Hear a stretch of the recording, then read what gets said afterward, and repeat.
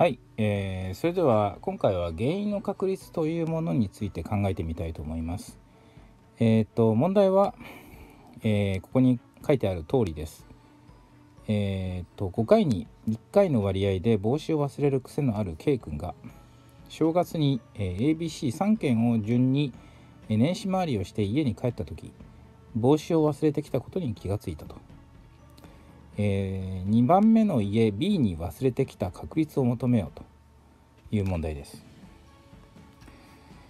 え、っとこれは、え、っと確率の中で言うと原因の確率と原因の確率と言われる問題なんですけれども、えっと本来、えっと条件付き確率とかで例えば PAB みたいなね A の起こった時の B の起こる確率みたいなこういう計算式によって、えー、答えを出す類の問題です。まあでもここでは、えっと、こういう式を一切出さずに確率の計算を、えー、まあちょっと変わった形で出してみたいと思います。えー、5回中1回帽子を忘れるという K 君ですね。で家から、まあ、こんな風にこう回っていきました。まず A2 期 A から B2 期まあ、えー、5回中1回忘れるということなので A で忘れるかもしれないし B で忘れるかもしれないし C で忘れるかもしれないと。でどっかで忘れるかもしれないわけですね。忘れないかもしれない。で家に帰った時帽子がないことに気がつきましたと。ですね、えー、どっかで忘れてきたわけです。でそれが、えー、B で忘れてきている確率を求めなさいというわけです。えー、っと5回中5回中1回忘れると。という確率なので、まあ、確率5分の1ですよね。5分の1の確率ですよね。ですよね。でえっ、とじゃあ例えばえっ、と5回中1回5回中約1回ということなのでえー、25回中だったら何回忘れるかというと約5回ですよね。それからえー、っとさらに5倍して125回だったら25回程度忘れると言えます。でえー、っとまあ年始回りは1回しかやりませんけれどもここでは125回年始回りをしたとしてちょっと考えてみたいと思います。いいですか ?125 回 ABC の家を回るということです。だからちょっとここに書いていきますね。こう ABC の。家からこうですね。えー、125回回るわけですけれども5分の1の確率で忘れるということは、えー、25回忘れで100回忘れずに済むと。忘れないということですね。で A の家を通り過ぎることになります。で B の家ではどうなるかっていうとその100回忘れなかったもう25回は A で忘れてるので B ではもう帽子をつけてないわけですよね。だから100回忘れなかったその100回のうちの、え、20回で B で忘れることになります。えー、5分の1ですから20回ですね。で80回は忘れないと。いいですか？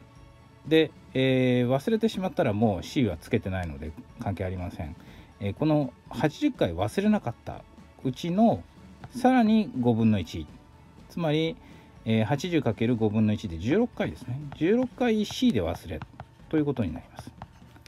で、えー、残りの64回ですかね。忘れない。ということでこれで家に戻ってることになります。つまり、えーと、125回中、えー、64回は忘れないということですね。じゃあ忘れたのはっていうと A で25回 B で20回。C で16回忘れの合計61回ということになります。125回ですね125回は、えっとそれぞれまあ均等というか同様に確からしいわけですから、えー、この61回というのもそれぞれの回同じ割合で起こるわけです。で、えっと今、まあ、家に帽子がないというわけですから、まあ、要するにその125回中の、えー、61回の場合に相当するということです。64回の忘れないという場合は除かれるわけですね。だからこの中で考えると125回ではなくてこの忘れてしまったわけですからこのどこかで忘れた61回の中で、えー、B の中で B で忘れるこの20回というわけですから B で忘れる確率は61分の20が確率ということになります。これが答えです。まあなんかその直感的にね、えっと、A と B と C で同じ割合で、まあ、3分の1ずつじゃないかなっていうふうに考えたくなりますよね。